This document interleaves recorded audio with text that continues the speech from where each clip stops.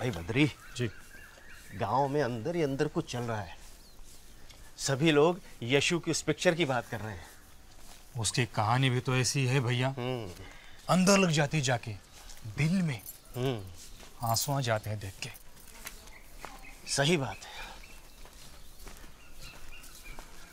और मुझे तो रह रहे के वही बात याद आती है कि कैसे यीशु ने उस मरी हुई लड़की को ज़िंदा कर दिया? उसका बाप उनके पास पहुँचा और बोला मेरी लड़की को ठीक कर दो। यीशु यीशु मेरी इकलौती बेटी को बचा ले प्रभु। मुझ पर दया करे। मेरी बेटी केवल बारह वर्ष की है और मरने को है। कृपा करके मेरे साथ चलिए। यार मुझे बड़ा दुख है। यीशु। तुम्हारी बेटी नहीं रही इसलिए गुरु को कष्ट ना दे। डरो नहीं। विश्वास रखो वो ठीक हो जाएगी।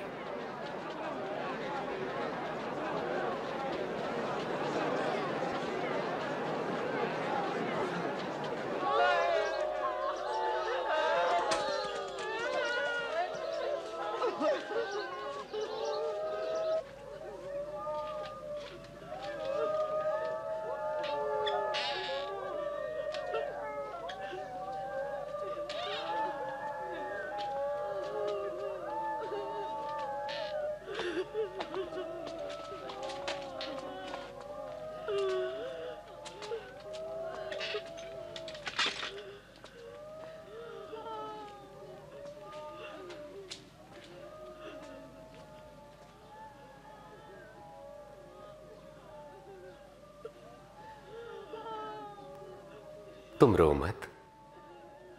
वो मरी नहीं है वो तो बस सो रही है।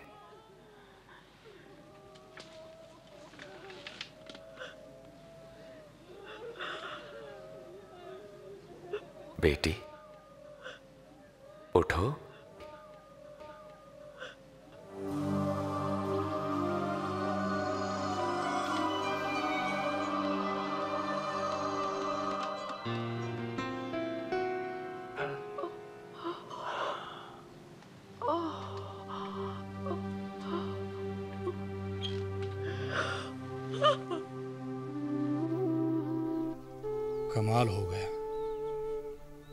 जब यीशु ने उसका हाथ पकड़ा और कहा, उठ जा। तो फिर उड़ बैठी और चलने फिरने लगी। वो तो महान चमत्कार था। वो तो है ही भैया। ये भी कहते हैं कि यीशु महान आत्मा है। सीधा संबंध है प्रभु से उनका। बिल्कुल। इस बात में तो कोई शक ही नहीं।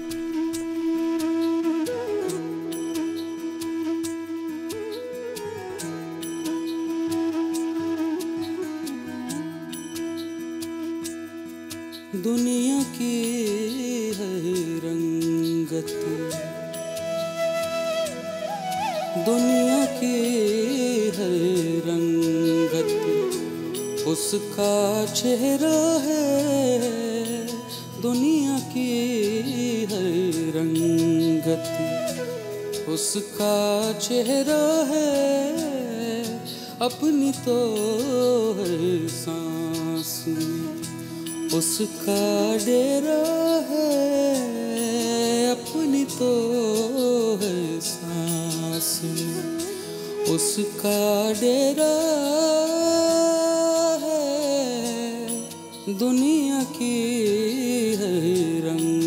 रंगत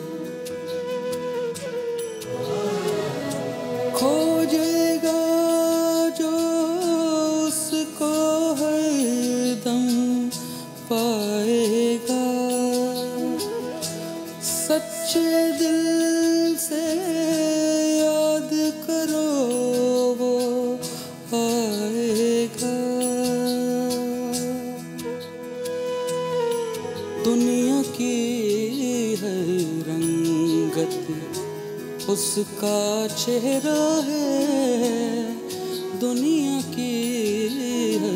रंगत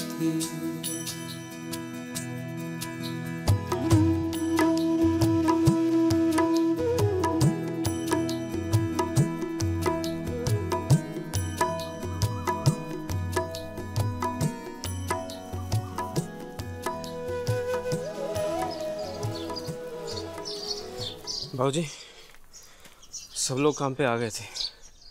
झाड़ झंकार हटा के सब कुछ साफ़ सुफ कर दिया है। खेत तैयार है जुताई के लिए। खेत तो तैयार है लेकिन बैलों का इंतज़ाम हुआ कि नहीं? वो भी हो गया बाबूजी। पता नहीं खुद की ज़मीन खुद के बैल कभी हो भी पाएँगे या नहीं। माँ मेरी चोटी बना दो ना। आजा बेटा। बाबूजी जब तक जमींदारों की लाठी की मार और खानदानी कर्जों की फटकार रहेगी तब तक कोई आस नहीं है। हम्म। लानत है। अपने खेत और अपने ढोरों पर भी हक नहीं रहा हमारा।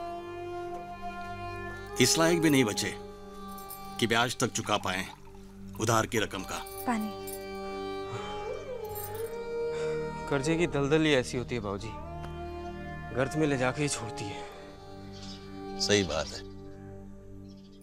दौलत की माया है सब पैसा फेंक तमाशा देख। पत्थर का कलेजा हो गया है उनका। हमारे सुख दुख से उनको क्या लेना? अब जो भी है बाबूजी सच्चाई यही है। मुझे नहीं लगता इस जीवन में अब कुछ भी बदल पाएगा। हाँ। जीते जाते हैं एक झूठी आस लिए। हर सुबह तुझको पाने की सांस लिए। काटेगा दुख के बंधन तू ही एक दिन, पाएगा सुख के मोती तू ही एक दिन। जीवन पलछिन पलछिन गुजरा जाता है, तुझ पर किंतु असर नहीं दर्शाता है। मूर्ख मानव, तू क्यों ये भूला है? तेरा पल उसके हर पल से छोटा है। साँझ ढले जब तेरा सूरज डूबेगा उसकी दुनिया में उजियारा फूटेगा। सही बात है। जिस दिन जो होना है उसी दिन होगा। फिर पता नहीं क्यों लोग कहते हैं चमत्कार होते हैं। कहते हैं गाँव में जो सिनेमा आया है उसमें भी कुछ ऐसा ही दिखाया है। हाँ बाबूजी आज तो कुछ ज़्यादा ही चर्चा हो रही थी उस पिक्चर की। क्या कह रहे थे लोग बाग यही कि दुनिया में सब कुछ अच्छा ही अच्छा क्यों नहीं हो जाता? पहले था? मतलब? मतलब यही कि परमेश्वर ने जब दुनिया बनाई थी तो इसमें कोई कमी नहीं थी। इंसान की हर ज़रूरत पूरी हो जाती थी। लो अब तो सब कुछ उल्टा हो गया है। यही तो बात कह रहे थे सब लोग। इंसाफ तो रहा ही नहीं कहीं भी। सोचो ना क्या हो रहा है? अपने ही जमीनों पर रहने के लिए कर्जे लेने पड़ रहे हैं। अपने ही खेतों में काम करते हैं। लेकिन फ़सलों के दामों में से फूटी कौड़ी भी नहीं मिलती। बस दो वक्त की रोटी मिल जाती है ज़िंदा रहने के लिए। उनके लिए जैसे पालतू कुत्ते, बैल, वैसे हम। अगर ये सिनेमा सच बोलता है कि इस धरती को दयावान परमेश्वर ने बनाया है तो फिर इस जग को हुआ क्या? बाबूजी जग के निर्माण की कथा बड़ी मज़ेदार है। गलती इंसान से ही हुई थी। अब सजा भुगत रहा है। परमेश्वर ने तो ऐसी दुनिया बनाई थी जहाँ तकलीफें, बुराइयाँ बिल्कुल थी ही नहीं। प्रेम ही प्रेम था। उसने आदमी और औरत बनाए और कहा, जाओ, जियो इस खूबसूरत दुनिया में। मौज करो, ऐश करो, कोई कमी नहीं है। बस एक पेड़ से फल तोड़कर मत खाना। कहाँ रहा जाता है इंसान से? शैतान के बहकावे में आके बुराई का फल तोड़ा और खा ही लिया फिर क्या था? सब कुछ पलट गया। अच्छाइयाँ और परमेश्वर उसे दिखने बंद होने लगे। बस, तभी से इस संसार में बुराइयाँ, मौत, बीमारियाँ, सबका घेरा छा गया। अच्छाइयाँ, प्रेम, मोहब्बत धीरे धीरे खत्म होने लगी। ओ तो अब समझ में आ रहा है कि इंसान परमेश्वर से इतना दूर कैसे हो गया। इसीलिए तो जग इतना परेशान हो चुका है। बल्कि रोज हमारी परेशानियाँ बढ़ती जा रही हैं। हाँ बाबूजी ज़्यादा दूर ही क्या जाना? अपनी दुर्दशा को देख लो ना। लेकिन क्या ये ऐसा ही चलता रहेगा? कोई रास्ता कोई उम्मीद कुछ भी नहीं है? है बाबूजी है। एक ही उम्मीद और वो है परमेश्वर जो हमसे सच्चा प्यार करते हैं। इसलिए तो उन्होंने अपने इकलौते बेटे जीसस की बलि दी ताकि एक बार फिर से वो हमारे साथ नाता जोड़ सके। हाँ देखा मैंने। मुझे उसका भ्रष्टाचार के खिलाफ गुस्सा याद आ रहा है। सिनेमा में वो जब प्रार्थना करने, प्रार्थना ले जाता है तो वहाँ उन सूदखोरों को देखता है, जो प्रभु के घर में बुरे काम कर रहे थे। यीशु से यह सब देखकर रहा न गया।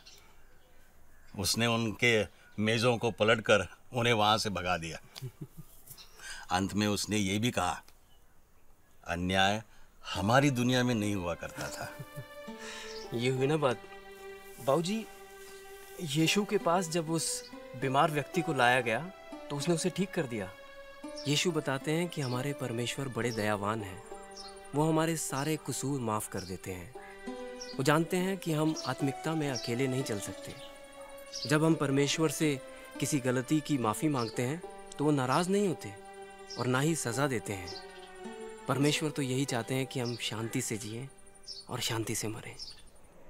मेरे पास आओ और मेरे वचन सुनो। मेरी मानो और तुम जीवन पाओगे। प्रभु को खोजो, जब तक वो मिल सके, उन्हें पुकारो, जबकि वो पास है।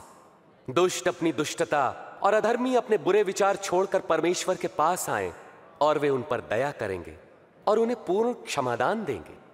तुम आनंदित रहोगे और तुम्हें शांति मिलेगी।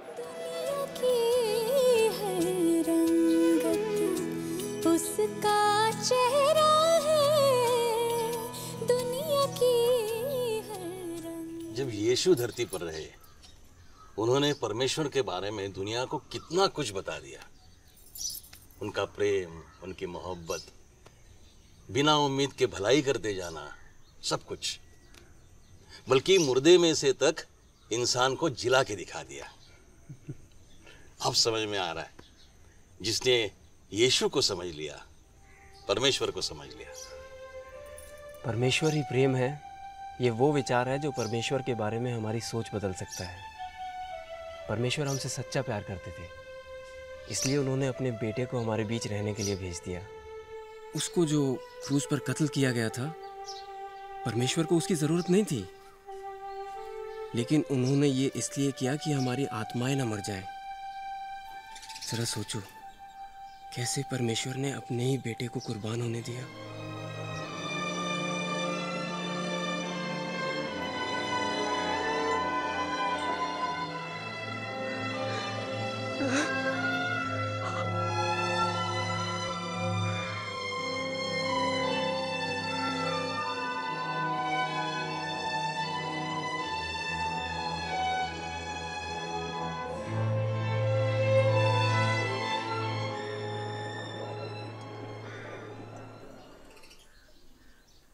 ऐसा प्रेम मेरी तो समझ में नहीं आता।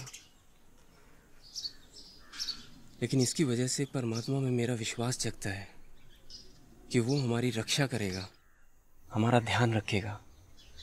जब तक हम ज़िंदा हैं, उस पल तक, जब तक हमारी आँखें हमेशा के लिए बंद नहीं हो जाती। मेरा तो मानना है, परमेश्वर को अगर समझना है तो उसके बेटे यीशु के मार्फत ही समझ सकते हैं। बिल्कुल। कहते हैं जब दुनिया बनी थी तो परमेश्वर खुद आके सुहावनी शामों को इंसान के साथ घुमा करते थे। सोचो बाबूजी जिस सर्वशक्तिमान परमेश्वर ने पूरी दुनिया पूरी कायनात बनाई उसका इतना नज़दीक का रिश्ता था इंसान से? सपने जैसा लगता है सब कुछ लेकिन अगर ये सच निकला तो मज़ा आ जाएगा। लेकिन है सच्चाई। आज भी हर घड़ी हम उस प्रभु से जुड़े हुए हैं जो हर वक्त हमसे प्रेम करता है। बस उसी का आसरा होना चाहिए उसी पे विश्वास रखना चाहिए। जरा ये सोचो उस परमेश्वर को हम खुद भी जान सकते हैं एक दोस्त के रूप में। यीशु मसीह जो उस फ़िल्म के हीरो थे उन्होंने उस परमेश्वर से हमें परिचित करवाया और अब हम उस परमेश्वर से बातचीत कर सकते हैं जब भी हमारा मन चाहे। जैसे आपस में हम हैं वैसे परमेश्वर भी हो सकते हैं हमारे साथ। हाँ बिल्कुल। हम अपने सारे सुख दुख उनके साथ बांट सकते हैं। और क्योंकि यीशु तो इस दुनिया में जिए हैं वो इंसान होने का मतलब समझते हैं। ये दुनिया भले ही अच्छी नहीं रही लेकिन कम से कम हम अपनी जिंदगियाँ तो अच्छी बना सकते हैं। और परमेश्वर का वचन कभी झूठ नहीं होता। जो कुछ भी वो कहता है पूरा होता है। उसने कहा तो है। मैं ही शुरुआत हूँ और मैं ही अंत। यानी जब दुनिया बनी थी, तब भी वो था और जब खत्म होगी, तब भी उसका वजूद रहेगा। फिर हमें किस बात की फ़िक्र है? दुनिया में आने से लेकर यहाँ से जाने तक के हर पल की ज़िम्मेदारी तो उसने ले ली है। वही संभालेगा हं?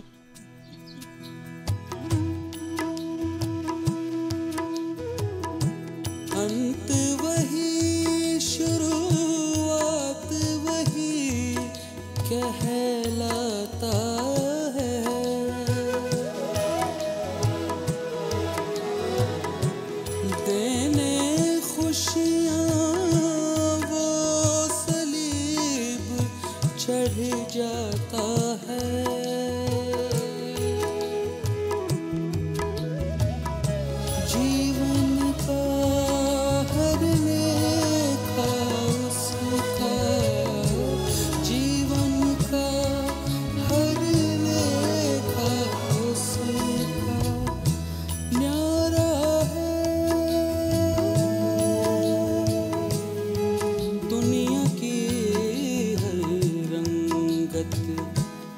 उसका चेहरा है।